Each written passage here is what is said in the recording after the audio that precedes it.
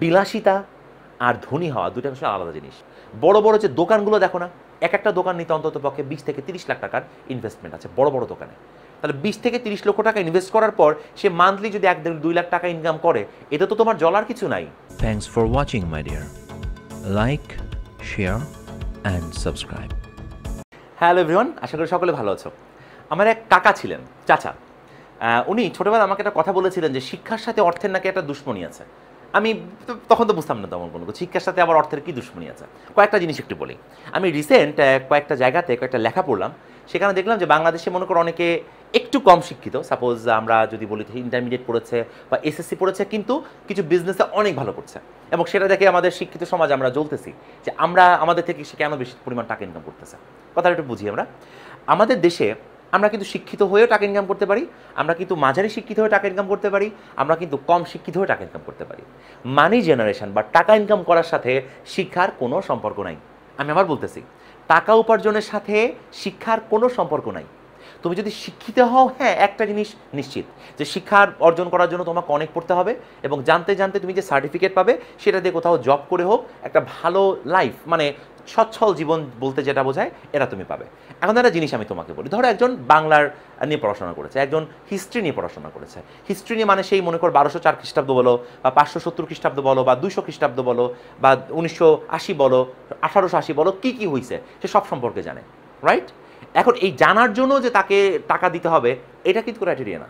বা তুমি মনে করো ফিজিক্সের কিছু সূত্র জানো। তুমি একজন ভালো ইঞ্জিনিয়ার একজন ভালো ডক্টর একজন ভালো ডক্টর বলে তোমাকে টাকা দিতে হবে নট দ্যাট ব্যাপার হচ্ছে, তুমি যে জ্ঞান উপার্জন করছ বা জ্ঞান অর্জন করছ, এই জ্ঞানটাকে তুমি মানুষের কাজে যখন ব্যয় করছ, সেইটার যে মার্কেট ভ্যালু এই মার্কেট ভ্যালু অনুসারে তোমার কাছে আসলে টাকা আসবে। কথাটা বুঝতে পারছ আমি কি বললাম? আমি বইয়ের থেকে পড়েছি মানে এইটা না যে আমি লক্ষ লক্ষ লক্ষ লক্ষ টাকার বেতন আমি আশা করতে পারি। নট দ্যাট আমি একটা ধারণা দিই। বাংলাদেশে মিনিমাম বেতন শুরু হয় ধরো আট হাজার টাকা থেকে। বা সাত হাজার টাকা থেকে মিনিমাম এর থেকে কমে আসলে এখন বাংলাদেশের লোকজন চাকরি করতে যায় না তেমন কোনো জায়গাতে। এবার তুমি যদি মনে করো মেডিকেল স্টুডেন্ট চিন্তা করো, একজন মেডিকেলে ডক্টর পাশ করার পরে তার বেতন স্টার্টিং পঁচিশ, তিরিশ হাজার টাকা হয় কোনো হসপিটালে একজন ইঞ্জিনিয়ার বই থেকে পাশ করছে বা কুয়েট থেকে পাশ করছে, ওর ক্ষেত্রে ব্যাপারটা এরকম, পঁচিশ, তিরিশ, চল্লিশ হাজার টাকা। কয়েক বছর কাজ করার পর সেটা মনে করো পঞ্চাশ হাজার টাকা হয়, ষাট হাজার টাকা হয়, তার জীবনযাত্রার ব্যয় কিন্তু আস্তে আস্তে বাড়তে থাকে। এই স্যালারি এক লাখ টাকা হতে পারে, দেড় লাখ টাকা হতে পারে, দুই লাখ, তিন লাখ, পাঁচ লাখ, দশ লাখ পঞ্চাশ লাখ টাকা হতে পারে। আমি এমনও ডক্টরকে চিনি যারা মান্থলি প্রায় পঞ্চাশ ষাট লাখ টাকা ইনকাম করে। বাট সে কিন্তু এটা অর্জন করছে। তাকে এই পর্যন্ত যেতে হয়েছে। মানুষ তার চেহারা দেখে এমনি এমনি টাকা দিয়ে যায় নাই। তাকে এটা অর্জন করতে হয়েছে। কথা হলো, তুমি যদি তোমার থেকে দেখো যে কম শিক্ষিত একজন মানুষ তোমার থেকে অনেক টাকা পয়সা ইনকাম করছে, এটা থেকে হিংসার কোনো দরকার নেই। তুমি কেন হিংসা করতে যাবা? তুমি শিক্ষিত একটা একজন মানুষ, তুমি চিন্তা করো যে আমি আমার জ্ঞান অর্জন করে, আমি আমার জ্ঞান দিয়ে আসলে মানুষের ভালো করে, ঠিক আছে, সেখান থেকে যদি আমি আর্থিকভাবে কিছু উপকৃত হই, তাহলে ভালো। ইন্ডিয়াতে একজন বিলিয়নিয়ার আছে। সে খুব সিম্পল লাইফ লিড করে। তাকে জিজ্ঞাসা করা হয়েছিল যাচ্ছা আপনার তো এত এত টাকা, তা আপনি এত সিম্পলভাবে তার সিম্পল শার্ট সিম্পল প্যান্ট আপনি এমন কেন পড়েন? আপনার প্রাইভেট জেট নাই কেন? আপনি এরকম সেই পুরাতন দিনে গাড়ি কেন চালান? তো তিনি বলেছিলেন, তিনি কিন্তু বিলিয়ন ডলারের মালিক। তিনি বলেছিলেন যে, দেখেন, বিলাসিতা আর ধনী হওয়া দুটা আসলে আলাদা জিনিস। আমার কাছে ধন সম্পদ থাকলেই যে বিলাসী জীবনযাপন করতে হবে, এমন কোথাও কোনো বইতে লেখা নেই। বাস্তবতা হচ্ছে এই যে তুমি যদি জীবনে অর্থ উপার্জন করতে চাও, প্রচুর টাকার মালিক হতে চাও দেন তোমাকে অবশ্যই বড় বড় রিস্ক নিতে হবে। বড় বড় একটা সহজ এক্সাম্পল দিই। তোমরা কি জানো, তুমি যদি গ্রামে থাকো বা উপজেলাতে থাকো বা ঢাকা শহরে থাকো, বড় বড় যে দোকানগুলো দেখো না, এক একটা দোকান নিতে অন্তত পক্ষে বিশ থেকে তিরিশ লাখ টাকার ইনভেস্টমেন্ট আছে, বড় বড় দোকানে। তাহলে বিশ থেকে তিরিশ লক্ষ টাকা ইনভেস্ট করার পর সে মান্থলি যদি এক দুই লাখ টাকা ইনকাম করে, এতে তো তোমার জলার কিছু নাই। সে তো ওই টাকাটা কোনো না কোনো সোর্স থেকে ইনভেস্ট করছে। তুমি যেমন তোমার সময় ইনভেস্ট করছ পড়াশোনা করার জন্য, সেও কোনো না কোনো সোর্স থেকে টাকাটা ইনভেস্ট করে সেখান থেকে জাস্ট মানি মানি জেনারেশন করতেছে। এই যে আমাদের মনে করো ঢাকা সিটিতে পুরান ঢাকার অনেক ব্যবসায়ী আছে। যারা মনে করো দুই তিন জেনারেশন ধরে ব্যবসায়ী, তুমি চিন্তাও করতে পারবা না তাদের কি পরিমাণ পরিশ্রম করতে হয়। একজন ব্যবসায়ীকে ব্যবসায় ভালো করতে গেলে দিন রাত মাথার মধ্যে প্রেশার থাকে। কালকে আমার সেল হবে তো? কালকে আমার সেল হয়ে আমি টাকা দিয়ে কী করব? বা আমার নেক্সট মান্থে আমি আমার এই যে যারা আছে এদের বেতন কোথেকে দিব? ভাড়া কোথেকে দিব? আমার স্যালারি দিয়ে আমি কী করব? আমার ইনকাম দিয়ে আমি কী করব? হাজার রকম টেনশন ঘুম হারাম হয়ে যায়। এই যারা বিজনেসম্যান তাদের তাদের কথা যদি আমি বলি। সো তুমি কখনো এটা ভেবো না যে আমি শিক্ষাদীক্ষা অর্জন করতে দিই শুধুমাত্র টাকার জন্য। তাহলে তোমার শিক্ষার প্রতি আসলে গুরুত্ব থাকবে না। তখন কী হবে জানো? তখন তুমি যদি কোনো জায়গাতে চাকরি করতে চাও না, প্রথমে মাথার মধ্যে ঢুকবে যে কেমনে আমি একটু অন্য সাইড ইনকাম করতে পারি। আর মাথার মধ্যে তোমার তখন দুর্নীতি করার অবকাশ জাগবে বা সুযোগ জাগবে যে আমি কীভাবে ঘুষ খাব, আমি কীভাবে মানুষের থেকে টাকা ইনকাম করব, এই তোমার মাথার মধ্যে চিন্তা ভাবনা চলতে থাকবে। সো যারা পড়াশোনা করছ, আমার সাজেশন হচ্ছে তোমার মাথার মধ্যে থেকে তুমি টাকা পয়সা জিনিসটা বাদ দাও, হিংসা জিনিসটা বাদ দিয়ে দাও, পুরাপুরি।